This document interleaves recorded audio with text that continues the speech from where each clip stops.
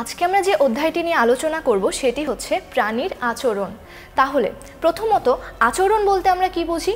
আমরা যদি আমাদের আশেপাশে লক্ষ্য করি, আমাদের আশেপাশের বিভিন্ন প্রাণীর মধ্যে আমরা বিভিন্ন ধরনের আচরণ দেখতে পাই।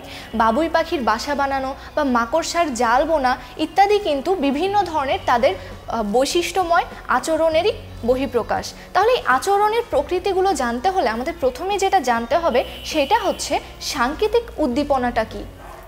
সাংকেতিক উদ্দীপনা হচ্ছে আমাদের মস্তিষ্কের বিভিন্ন ধরনের নার্ভ বা স্নায়ু আমাদের পুরো দেহে কিন্তু বিভিন্ন ধরনের সাংকেতিক উদ্দীপনা প্রেরণ করে, যেগুলোর মাধ্যমে আমাদের দেহ এক ধরনের উদ্দীপনা পায় এবং ওই উদ্দীপনা অনুযায়ী আমরা আমাদের দেহের মাধ্যমে একটা কাজ সাধন করি। তো এইভাবেই একটা সাংকেতিক উদ্দীপনা আমাদের দেহের বিভিন্ন অংশের মাধ্যমে তাদের সেই উদ্দীপনাটার বহিঃপ্রকাশ ঘটে এবং আমরা একটা কাজ সাধন করে থাকি। তাহলে এই সাংকেতিক উদ্দীপনা হতে পারে তিন ধরনের। একটা হচ্ছে মোটিভেশনাল আরেকটা হচ্ছে রিলিজিং এবং আরেকটা হচ্ছে টার্মিনেটিং মোটিভেশনাল সাংকেতিক উদ্দীপনা কোনটা সেটাই আমরা এখন জেনে নিব। তাহলে মোটিভেশন শব্দটা মাথায় আসলেই আমাদের যেই মানুষটার কথা মাথায় আসে সেটি হচ্ছে আয়মান সাদিক।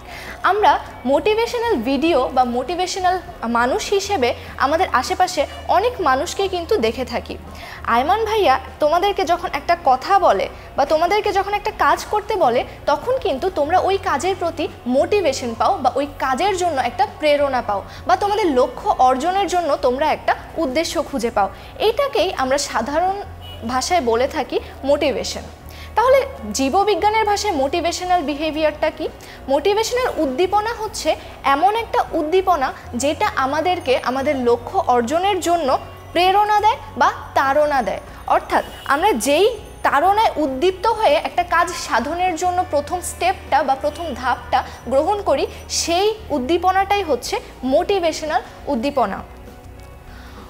উদাহরণ হিসেবে বলা যায়, একটা গাংচিল যখন তার ছোট, তার বাচ্চা গাংচিলের জন্য যখন খাবার নিয়ে আসে, তখন দেখা যায় বাচ্চা গাংচিলটা কিন্তু ক্ষুধার্ত অবস্থায় সেই মায়ের জন্য অপেক্ষা করতে থাকে এবং তার ক্ষুধার তাড়নায় কিন্তু সে তার মায়ের মুখ থেকে খাবার নিতে যায়। তো এই যে ক্ষুধার তাড়নাটা সে অনুভব করে, এইটাই অনুভব করে সে মোটিভেশনাল উদ্দীপনার মাধ্যমে। এরপর যেটা আছে, সেটা হচ্ছে রিলিজিং উদ্দীপনা বা নির্গমন উদ্দীপনা। আমরা একটা কাজের জন্য প্রথমে প্রেরণা পেলাম প্রেরণা পাওয়ার পর আমাদের যেটা করতে হয় সেটা হচ্ছে ওই প্রেরণাটার মাধ্যমে বা ওই উদ্দীপনাটার মাধ্যমে আমরা একটা কাজকে রিলিজ করি বা নির্গমন প্রক্রিয়ার মাধ্যমে একটা কাজ সম্পন্ন করি। এটাকে বলা হয়ে থাকে? রিলিজিং উদ্দীপনা। বিখ্যাত বিজ্ঞানী টিনবার্গেন একটা পরীক্ষা চালনা করেন, যে পরীক্ষায় তিনি হেরিঙ্গাল বা এক ধরনের সামুদ্রিক গাংচিলের উপর সে তিনি পরীক্ষাটা করেন এবং দেখেন যে সামুদ্রিক গাংচিলের মধ্যে মায়েরা যখন মুখে খাবার নিয়ে এসে তাদের বাচ্চাদের সামনে হাজির হয়, তখন কিন্তু বাচ্চারা ক্ষুধার্থ বাচ্চারা সেই মায়ের মুখ থেকে খাবার গ্রহণে উদ্দীপ্ত হয়। তখন কিন্তু সেই মাটা তাদেরকে বলে দেয় না যে আমার মুখ থেকে এসে খাবার নিয়ে যাও। সেই বাচ্চাগুলো কিন্তু নিজে থেকে বুঝে নেয় যে তাদের মা তাদের জন্য খাবার নিয়ে এসেছে। এই জিনিসটা কীভাবে ঘটে? এই জিনিসটা ঘটেই হচ্ছে রিলিজিং উদ্দীপনার মাধ্যমে। সেই বাচ্চা গাংচিলগুলোর মধ্যে এক ধরনের উদ্দীপনা কাজ করে যে তাদের মায়ের মুখে খাবার রয়েছে এবং সেই খাবারটা তাদের জন্য। এটা তারা কীভাবে বুঝতে পারে? এটা তারা বুঝতে পারে এই হেরিঙ্গাল বা গাংচিলদের, সামুদ্রিক গাংচিলদের ঠোঁটে যখন খাবার থাকে, এই খাবারের ঠোঁটের মধ্যে কিন্তু একটা অংশে একটু লাল রঙের একটা দাগ দেখা যায়। তো এই দাগটা দেখেই তারা বুঝতে পারে যে তাদের এখন খেতে হবে। অর্থাৎ তাদের মায়ের মুখ থেকে তাদের খাবারটা গ্রহণ করতে হবে। তো এই জিনিসটাই যে তারা উপলব্ধি করে, এটা হচ্ছে তাদের মোটিভেশন এবং এরপর তারা যে খাবারটা গ্রহণের জন্য এগিয়ে যায়, সেটা হচ্ছে তাদের যে মোটিভেশন বা প্রেরণা, সেটার একটা বহি নির্গমন বা রিলিজিং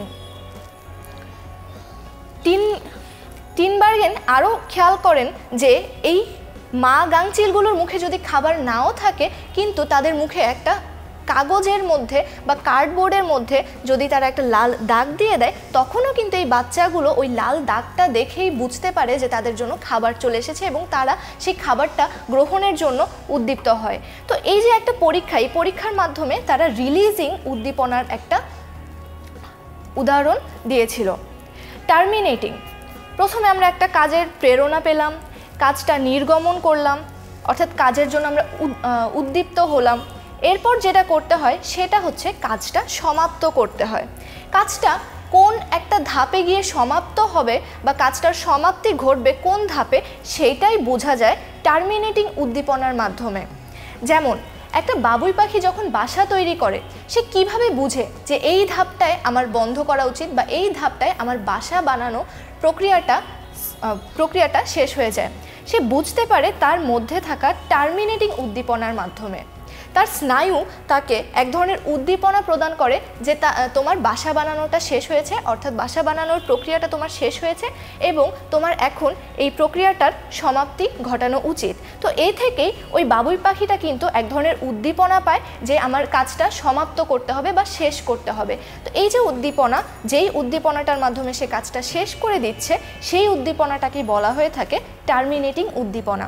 তাহলে মোটিভেশনাল উদ্দীপনা হচ্ছে প্রেরণামূলক বা আমরা যে তাড়না পাই কাজের জন্য সেই উদ্দীপনাগুলোকে বলা হয় মোটিভেশনাল উদ্দীপনা।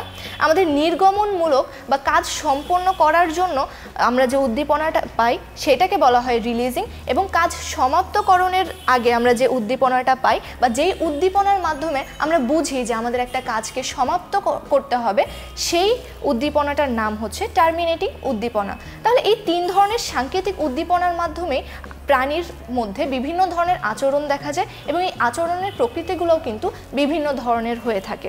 এই হচ্ছে আচরণের প্রকৃতি এবং সাংকেতিক উদ্দীপনার বিভিন্ন ধরন। তোমাদের পরবর্তী ভিডিওতে আমরা সহজাত আচরণ এবং এই সম্পর্কিত আরও অন্যান্য আচরণ নিয়ে আলোচনা করব। সবাইকে ধন্যবাদ।